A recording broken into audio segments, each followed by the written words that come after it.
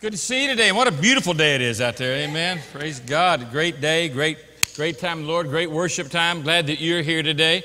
Sometimes it tends to, when it's just beautiful, folks kind of have to sneak out. But I'm glad you snuck in today. Amen. We're talking about grace today, but before I get into that message on amazing grace and what's so amazing about grace, uh, let me just share with you a little bit. Most of you are aware of the fact we were down in Belize this last week with our pastors' conference. This is the 11th conference we've done down there. Amen. Uh, that's, a, that's been a real praise to the Lord been a real strengthening force and a real strengthening factor for the churches, the Baptist churches down there. Uh, this conference is hosted specifically and uniquely for them. We pay their way to come, basically, by giving them the stipend, help with their expenses. We pay for their hotel rooms for two nights, their meals while they're there, uh, your gifts, your prayers. You make it all possible.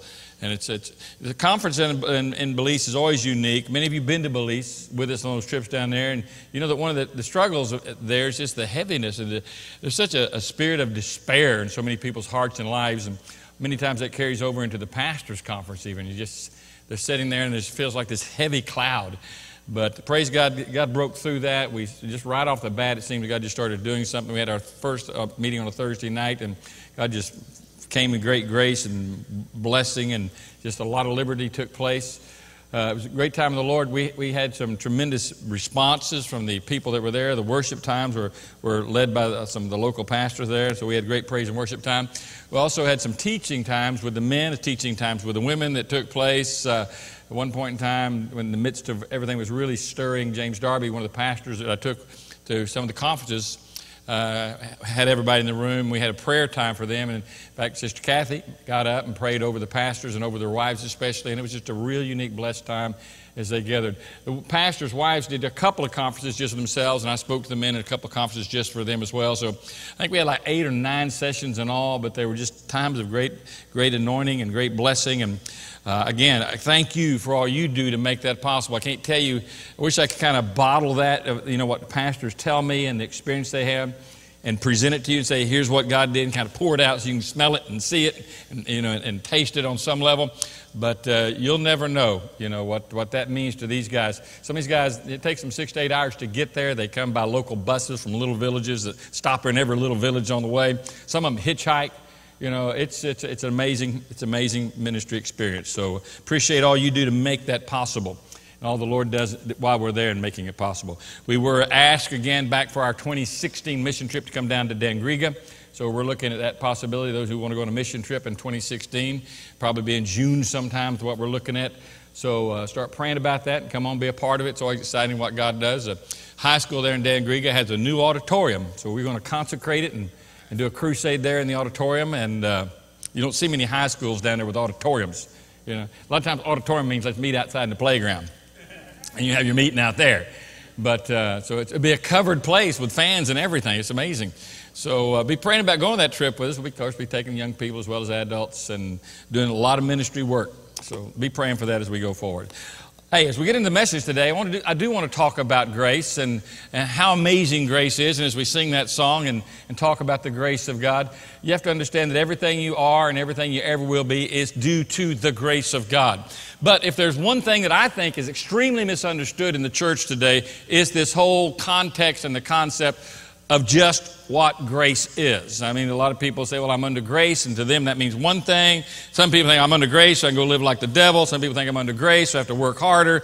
On and on it goes. So let's see if today, if we can give a, an accurate definition of what grace is and get a fresh grip on what that means in our life and what, what will be as a result of our experience of walking in the grace of God. Obviously, for those who've been around this church at any length of time, you know we are saved by grace, grace through faith, right? It's salvation that comes as, a, as, as God demonstrates His mercy in our life and delivers us from the kingdom of darkness to the kingdom of light. Ephesians 2 is that passage, and well, it's not going to work for me today, so I'll let you put it in PowerPoint and work it from there, okay? But anyway, in Ephesians 2, we have that, that anthem verse, by grace you're saved through faith in the Lord Jesus Christ. It's not of works, lest any man should boast. Right, it's all grace. And so what you ask people, well, what does that mean? And the term like this comes out. Well, it means that I didn't deserve to be saved and God saved me. Well, we put it this way, what I learned in Sunday school was it's unmerited favor. How many of you have heard that definition? Right? Unmerited favor. Okay, what's that mean? I mean, really, what's that mean? Well, I don't deserve. That's unmerited. I guess we, I didn't. I didn't merit it. I didn't deserve it. Uh, unmerited. But what does favor mean? I don't know. I guess it means you know blessing. Well, it has to do this very very concept of what grace is. When the Holy Spirit convicted you. If, you. if you are a Christian, all right, it starts with a conviction process from the Word of God. The Holy Spirit takes the Word of God, and that Word is a, it starts dealing with your heart, and you start realizing, hey, I'm, I'm, I'm lost. I need Jesus in my life. I need to be saved. And then the Holy Spirit brings that further to, He influences your heart, right? The Holy Spirit begins to influence your heart, and call it conviction, call it whatever you want. But then it brings this place of brokenness and repentance, where you literally understand that you don't deserve it and you need to turn your life over to God and you make that decision to return to Him and turn to your heart to Him in faith and you choose at this point to follow Him.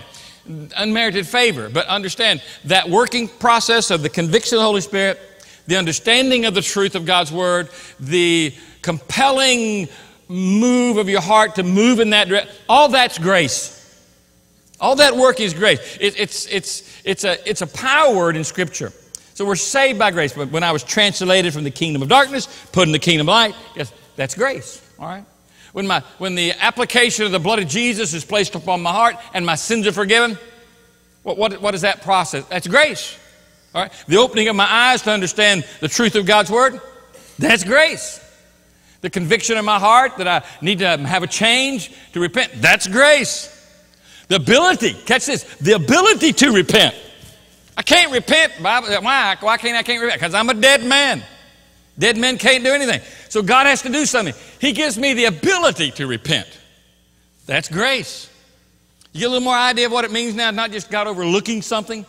You know, I'm a sinner and God overlooks my sin and receives. No, it's the action, it's the power, it's the work of the Holy Spirit in your life, and God gives us that. What happens is the Word's exposed to us, and we believe what is written in the Scripture. Well, it's going to work for me, but can't see if you can follow. 1 John 5 says, These things I have written to you who believe in the name of the Son of God, so that you may know that you have eternal life. You chose to believe what grace did in revealing truth by the Holy Spirit to you, and you moved and you made that decision and now where's my confidence? My confidence is in God's grace as it's revealed in God's Word.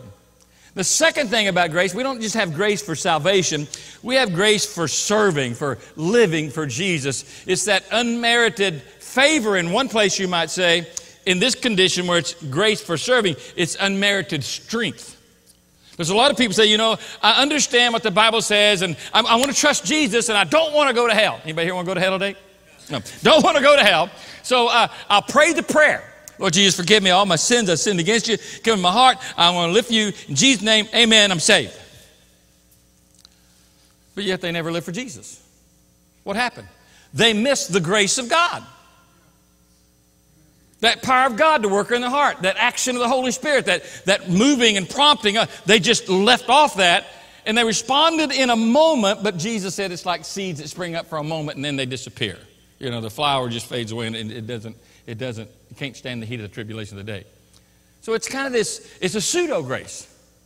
But what real grace does, it gives you the power to literally serve the Lord. Second Timothy, Paul writing to him, and he says in two, chapter 2, verse 1, Therefore, Timothy, my son, be strong in the grace that is in Christ Jesus.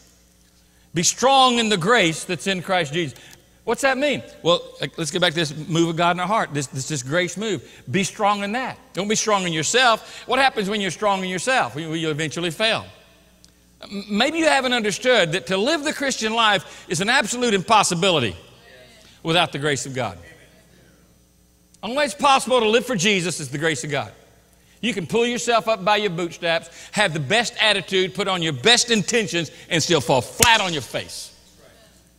Because you don't live this life by the power of self. You live by the power of the Holy Spirit. And what is that working of the power of the Holy Spirit called in your life? Grace. It's the grace of God. So Paul's telling Timothy, be strong in grace. First Timothy writes him again this letter, and he says, verse 12, 14 of chapter 1, I thank Christ Jesus our Lord, who strengthened me because he considered me faithful, putting me into service. Now listen to this. God called me and put me in service. He said, but before I was a blasphemer. And before, I was a persecutor. And before, I was a violent aggressor. before what? Before grace. I was all these things before grace. He said, But I was shown mercy because I was acting ignorantly in my unbelief. I didn't believe God. I chose to live what I want to live. And the grace of our Lord Jesus, says verse 14, was more than abundant with faith and love which are found in Christ Jesus. The grace of God was more than abundant. In other words, says, God called me to ministry. That's the first thing he says, right? God put me in the ministry. What qualified me? Where, where's my, where's my uh, resume? Let's pull it up. Here's your resume. You were a blasphemer. You had a dirty mouth, a dirty life. Excuse me, I called you to ministry. Yeah, let me read your resume again. You were a persecutor. And yet you're in the ministry? You were, you were acting stupidly and ignorantly in your unbelief. That's his resume. That's not much of a resume, is it? But here's the bottom line of the resume God showed me grace. I received the grace in faith. I trusted the grace. I trusted God's mercy. I, I, trusted what God did for me. I believed the grace of God. And with faith and love that are found in Christ Jesus, what happens is grace showed me how stupid I was, how ignorant I was, how I lived my life beforehand. And I came to Jesus, and grace opened my eyes. Grace called me to the cross. God applied the cross to my life. That was grace at work in my life. Now I'm serving the Lord by the grace of God. That which saved me is now which that which strengthens me. That which saved me is that which now gives me the ability to live a brand new life. A lot of people tell you that all the time. Well, I want to be a Christian, but I can't live it. No, you can't. But grace in your life will cause you to live it. Grace in your life will cause you to live it. But choices have to be made, obviously. You know, I guess what we need is a good definition for grace today.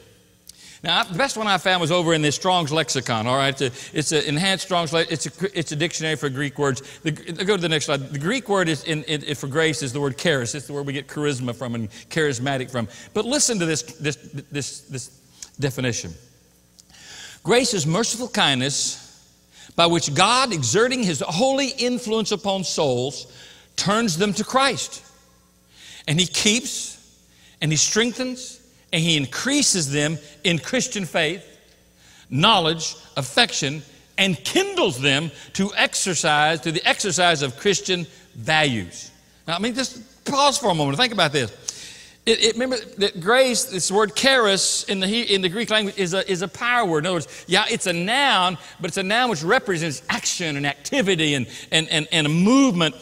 The best word here is influence. Grace is when God influences my life. He influenced my life and showed me I was going to hell. He influenced my life and showed me how empty I was. He influenced my life by opening my eyes to see that Jesus died for my sins.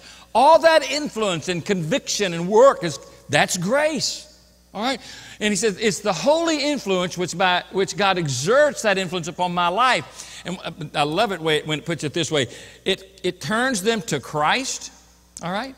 Turns them to Christ, keeps, strengthens, increases them in Christian faith, in knowledge and affection, kindles them to the exercising of Christian values. In other words, how do I live this life based upon a new set of values, which are Christian godly values, instead of living the way I've always lived? Grace. And God, you say, where do I get grace? It comes from God. And it's this offering that God gives to, eh, to, to move in your heart and move in your life and give you the power to serve Him, to live for Him, to grow in Him, to be secure in Him, to be kept in Him. All that's grace. So, any action ultimately that God is doing in you, for you, and with you, it's grace. It's grace. Paul said, God put me in the ministry. Well, you saw my resume, so it's grace. Blasphemer, ignorant, accuser, you know, violent, aggressor. Grace. I am what he says later on I am what I am by the grace of God. In other words, I, I can't claim any, any integrity of my own, it's all the grace of God. So let me put it even in a simpler nutshell. There's really no excuse for us not living godly lives. Oh, but Brother Joe, you don't know how I was brought up, or you don't know my circumstances, you don't know the things I've had to deal with in my life. You know, no, no, no, no. Not according to what grace has done and what God does through grace for us. There's no excuse for us not serving the Lord. There's no excuse for us not genuinely living for the Lord. You can't say, I'm just too young, I'm not strong enough Christian. No, I can't say that. Why? Because grace. strengthens me. You can't say, well, I, I just I don't have the personality for it. It doesn't have anything to do with personality. Because grace changes me. You can't say, well, I, I just don't have courage, you know, as, as, a Christian to stand up and be bold and live that kind of. Nothing to do that. It has everything to do with God has done something for you. Yes, you have to make a choice. You, you're going to have to get desperate. You're going to have to call on Him. You're going to have to trust Him. You're going to have to believe Him. And away with this little petty thing says, well, I just don't deserve it. No, you deserve to go to hell. You got what you deserved, you wouldn't be sitting here in an air conditioned building today. The temperature would be a lot different. Amen? If you got what you deserved, you'd be. Uh, listen, I told one day, the other day, I said, listen, if I got what I deserved, I'd be either dead in jail or hell. That's what I deserve. That's what Paul was saying. But for the grace of God. Hebrews 4 6, 16 says, Therefore, let us draw near with confidence to the throne of grace so that we may receive mercy to find grace to help in time of need. You have a need? I have a need for a renewed life. I have a need for a strengthened life. I have a need for a transformed life. I have a need for a kind of living that I can't do, but He can. I need what I need. I need to approach the throne of grace. I need to get right with God. I need to get honest with God. I need to quit covering up. I need to quit, you know, justifying myself and rationalizing what I've done. I just need to say, God, I, I messed up. I, like Paul says, I was messed up. Here's what I was. And ever just, if you just, if you can't come to that, if you're still busy trying, well, I'm okay. If you're going to live that life, I'm okay, you will never be okay. It's just not going to happen. But what grace does, it brings salvation, changes, draws, convicts you, and then transforms you for the service for living for Jesus Christ. Now, I sent this uh, uh, PowerPoint out the, the other day. To, so I was trying to, when I got back from Belize, trying to put this, this message together, and I wished I'd spend a little more time with the alliteration because it came to an even better alliteration for this morning. So there's grace for salvation, and there's grace that, that's for serving, unmerited favor, unmerited strength. But there's another grace to help in times of difficulty and weakness. And what I should have titled that is you have grace for salvation, grace for serving, but you also have grace for help with weakness and difficulty. It could have been grace for suffering in, in 2 Corinthians, that passage in 12 where Paul's talking about his thorn in the flesh, it says, because of the surpassing greatness of the revelations. In other words, God showed me a lot of stuff. But to keep me from exalting myself or what I've been, been shown, he says, there was given me a thorn in the flesh, a messenger of Satan to torment me, to keep me from exalting myself. Concerning this, I implored the Lord three times that it might leave me. And he said to me, My grace is sufficient for you. My grace is sufficient. For power is perfected in weakness. Most gladly, therefore, I will rather boast about my weaknesses so that the power of Christ may dwell in me. Now, the four observations, I'm going to give to you real quick. It's in that next slide. This, he says, here's this thorn, and he talks about all this, this problem that he's having and this, this, this, this, this difficulty in his life. And, what the script tells us, the thorn, first of all, was, he says, was given to prevent pride in my life. There's, this, there's a problem in my life. There's a, there's a trial that I'm facing. There's a temptation maybe I have to deal with uh, every day of my life on some level. But it's there to keep me from being exalted, getting puffed up, thinking that I've really achieved something. It reveals to me every day how much I need Jesus. It shows me every day how much I need to call on Him. Now, the second thing I want you to catch about this this problem was inflicted by God Himself, all right? God sent, God sent this issue. God allowed the devil to inflict Paul with this problem. Why? So Paul, one, become arrogant, and number two, he learned how to trust in the power of God to overcome. See, there's a lot of our Christian life that we just overcome by our strength. I mean, we just do it. We just, we just struggle through it, and we, we try, and we, we get by a little bit, all right? But to really fully live the Christian life, that doesn't last long. That, that motor burns out real fast and that tank dries up, all right? You just can't live it by yourself. That'll last you for a few days. Some people go for a few years, putting on a real good show outwardly, but inside they're just a wreck. And behind the scenes, in the darkness of their life, where nobody sees and the veil's been, been pulled uh, uh, up close so nobody looks in, they're living a different kind of life. That, that's a miserable way to live your life.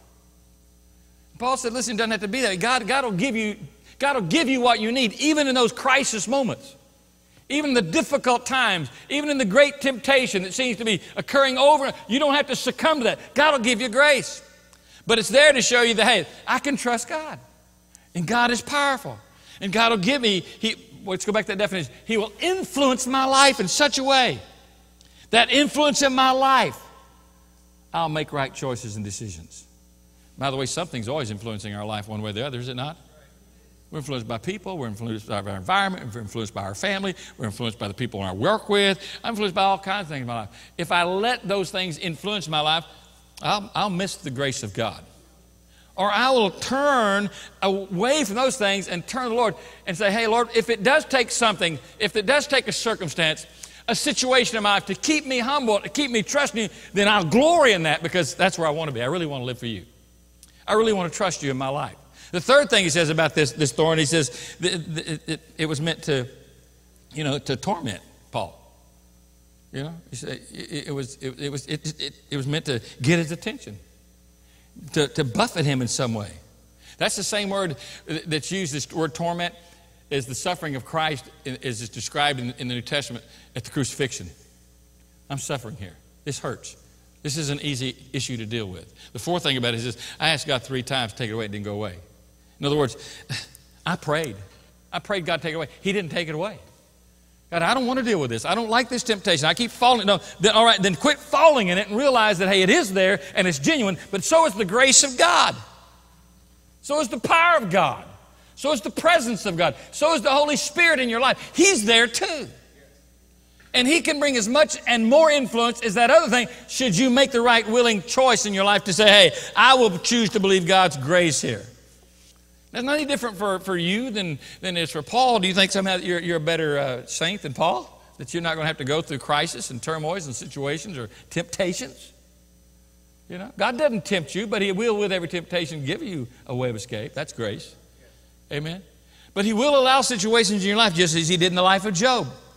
This, this, the promise of, of this passage, and, and where, Paul's talking about is the beauty that God's grace is bigger than those things, and God's grace can influence you to have victory, even when you're having to deal with things in your life. Where do we ever get the idea that, it, that, that if I'm going to be a really sold out Christian, there's not going to be problems? Well, that's a lie out of hell. Yeah. I, I kind of thought that as a young Christian, well, I'm going to get real spiritual one day, I'm going to have all these problems.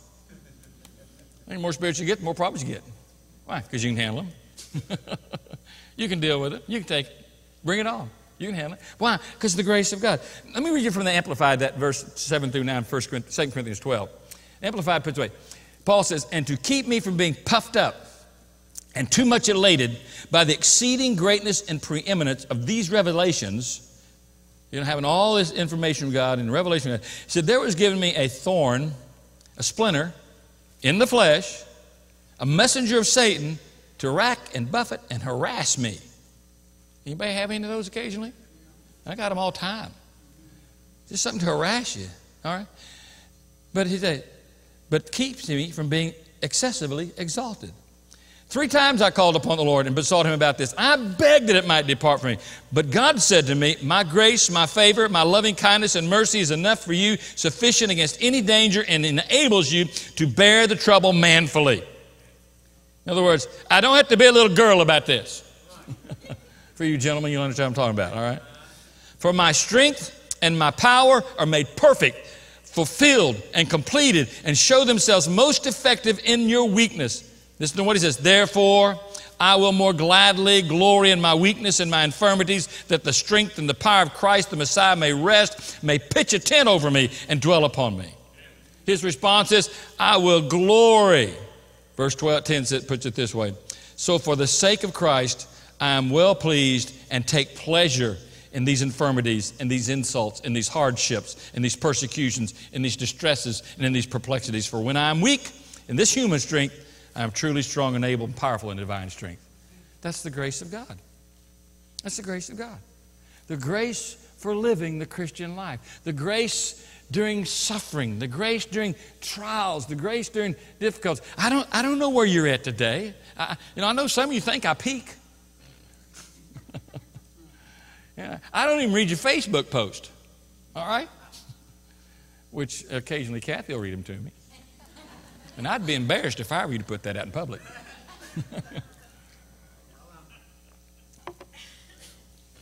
hey, but God knows right where you're at. He knows what's going on. He knows what you're dealing with. He knows what trials you're facing. He knows what temptations you're facing. And not a one of them is bigger than you in Him, in His strength, and by His grace. And will, with every one of them, with every one of them, if you'll allow Him, He will influence your life with the power you need to get through it. That's called grace. So we get a little bigger idea about grace being just, well, this unmerited favor. All right? It goes beyond that. The last one here is this it's grace that, that literally guides us, it steers our life, all right? And as He steers our life with grace, it's amazing all we learn. Catch this, and this is where many people fail the grace of God. Titus 2.11. For the grace of God has appeared, bringing salvation to all men, instructing us to deny ungodliness, worldly desires, to live sensibly, righteously, and godly in this present age. Can I just read that one more time? The grace of God has appeared, bringing salvation to all men, instructing us to deny ungodliness and worldly desires, to live sensibly, righteously, and godly in this present age. Now, this is important because there's, to, to, to, prove my point about how a lot of people do not understand grace, they look at it like this Hey, I'm a Christian. I'm under grace. I can do whatever I want to do. You know, all things are lawful for me. That's what the Bible says. I don't read the second part, it says, but not all things are expedient. You know? Not a thing I do is going to send me to hell because I'm safe in the grace of God. But I tell you what, if I choose to live the way I want to live, that grace that influences blessing will also influence me with chastening. Ultimately, condemnation of my flesh. God will literally touch my flesh, touch my health, and touch my body if I won't listen to Him. Grace is this supernatural blessing that God works in our life through the influence of His Word and His Holy Spirit, and how He imposes that influence upon our life. That if I respond to it, I can experience His grace in my life. It's the Greek word here for when He says He instructs us, the grace of God instructs us. It's the Greek word paduo, which we get the word for discipline even from, and, and for teaching and for instruction. And He says, one thing about grace is that it's going to teach you something. Say, I'm under grace, all right? Then you're going to, you've learned something. Well, what have I learned?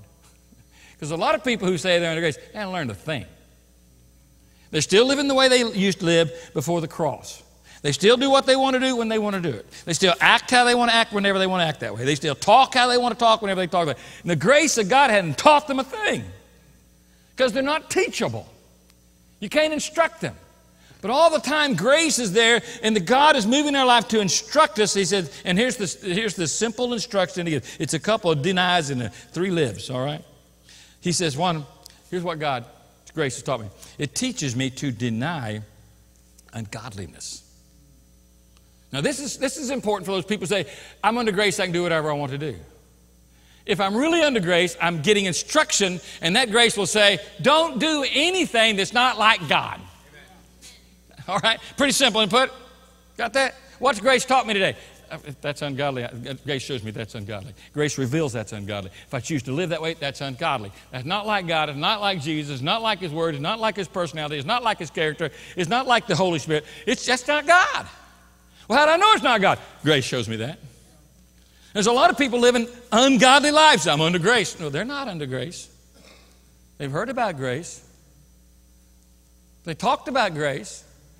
They sang the Amazing Grace song, but they hadn't learned anything. The second thing is it also teaches me to reject worldly desires. Now, that, to, that word desire is a word that's used a lot in Scripture. It's the word epithumia. It translates lust 31 times in Scripture.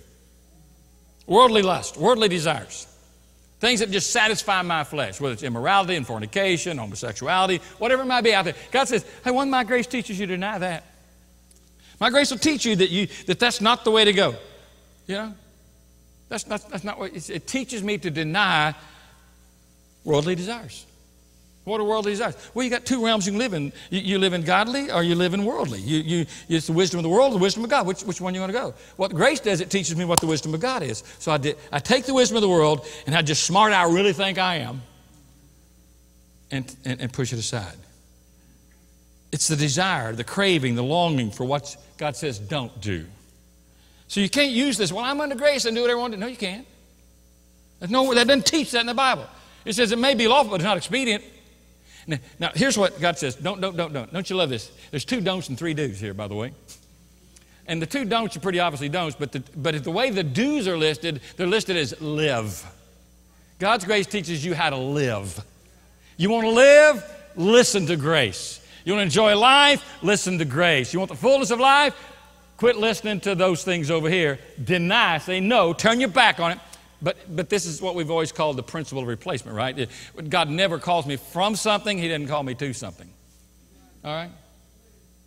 You know, when I got saved, I, have been in, in, a, in, a, relationship with a girl. I'm not surprised at somebody, you know, that somebody like me could have a girlfriend, all right? But God made very clear that that wasn't going to work. Grace instructed me that's a bad deal, son. She doesn't love Jesus. She's not interested in things of God. This is not going to work in any way. So I had to have that little heart to heart meeting. Uh, this ain't going to work. You know? But guess what?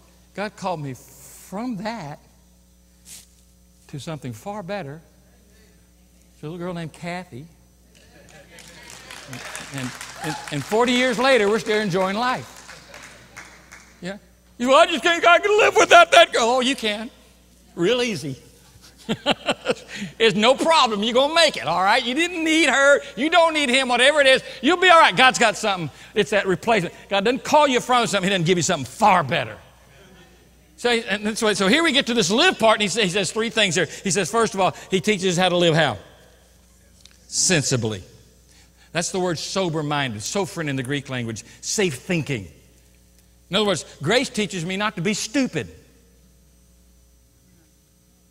How many of y'all done some really stupid things in your life? Oh, come on, raise your hand. I've done some really stupid things in my life. I'm waiting for the rest of you. Come on. I mean, you've done some really dumb stuff. I mean, really bad decisions, right? I mean, you've walked away from that, thing, oh, what an idiot I was, you know? And then you thank God that maybe nobody else saw you do it or whatever it might be. But it was stupid, you know? But grace teaches you how to live sensibly, not to live stupid life. Made up a stupid mistake after stupid mistake after stupid mistake. I mean, I've said people can say, "No, brother Joe, uh, can you help me? Well, what do you need? Uh, can you get me out of jail? What are you doing in jail, stupid? My wife threw me out of the house yesterday. Why, how'd that happen, stupid? Yeah. I know, that's why we let Brother Tim do most of the counseling.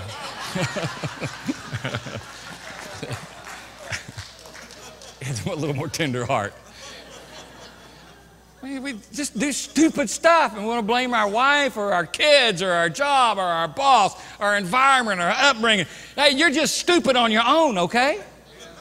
We don't need any help in this department. But here's what God does He gives us grace so we don't have to live that life that just, it doesn't make any sense. Some of the things you may be doing right now, they don't make any sense. I know they do to you, but it's stupid. It doesn't make any sense for you to keep doing what you're doing because it keeps bringing you back to the same stupid place.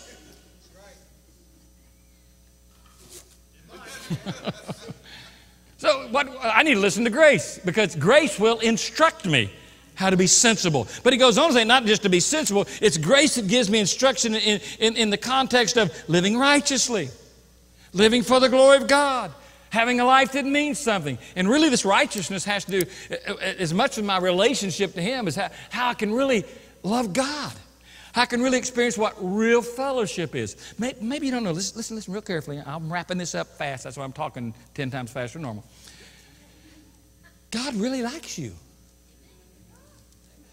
I know it's hard to believe. I've had that trouble in my past too. But God really does. He, he loves you. And God really, really, really, really, as my granddaughter says, really, really, really, really wants to fellowship with you to be a father to you, to provide for you, to protect you from being stupid. But you have to listen to the instruction of grace. So you know how to live that kind of way and walk in that kind of fellowship. He teaches us how to live sensibly and righteously and godly in this present age. And that's important because the present age we live in is a wicked age. Everybody's doing everything. People shacking up. People living incredibly immoral lives. We're living in a day when the Supreme Court of the United States is deciding if the biblical definition of marriage is what we want to live by. That's a godless age, all right? It's just a godless time we're living in.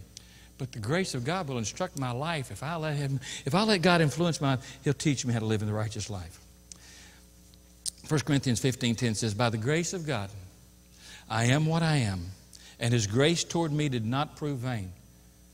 His grace didn't prove vain, but I labored even more than all them. Yet not I, but the grace of God.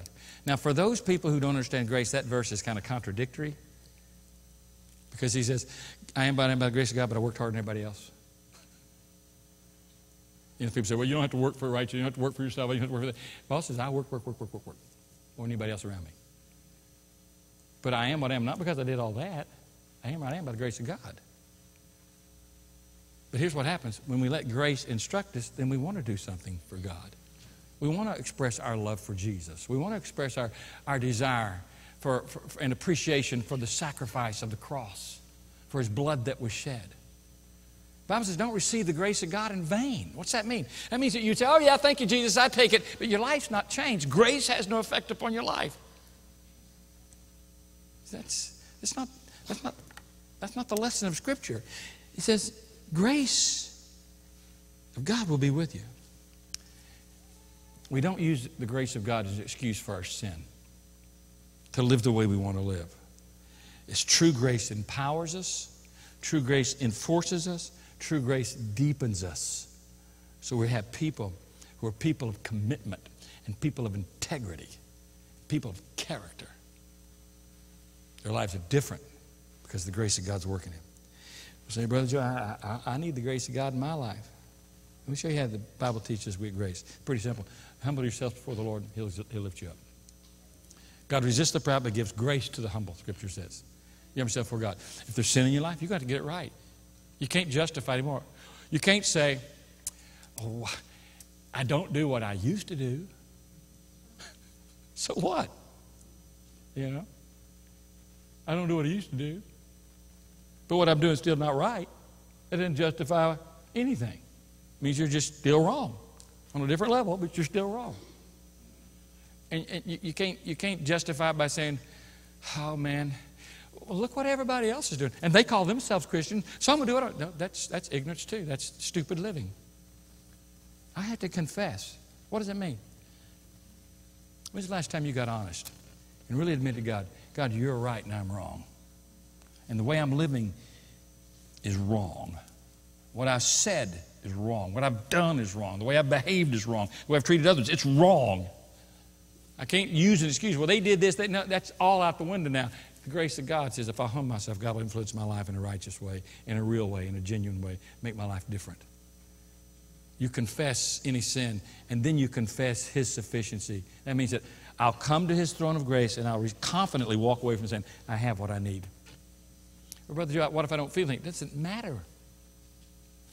This is what matters. He said it, that settles it. If I tell Kathy, you know, here's a gift card, there's $100 on it, go spend it on what you want to. She can't sit back and say, How do I know it's really $100 on here? What if I get out there and use it and I'm embarrassed because there's only $10 on it? She says, Take my word for it, doesn't she? And she will. And she does. And God tells you, you ask, you receive, you trust me when you walk away, it's there. You can't get out here and say, okay, thank you, Lord, for that. I have grace to live it. And say, oh, I don't want to do that. Or this is too hard. That's too difficult. I don't know if I can. No, that's, that's not confidence. That's not faith. That's not trust. You just move forward. You wave that card, swipe it, whatever you need to do. And you believe God's grace. You just step out in faith. There's one thing that you have got to learn, and one thing that grace will instruct you in is this. You have what you need when you need it, when you have Him. You have everything you need when you need it, when you have Him. Will you step out and follow him? Or will you continue to live that stupid life?